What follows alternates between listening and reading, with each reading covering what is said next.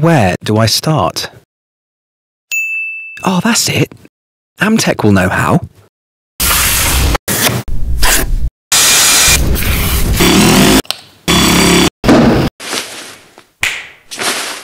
Wow, it looks great! Thanks, Amtech.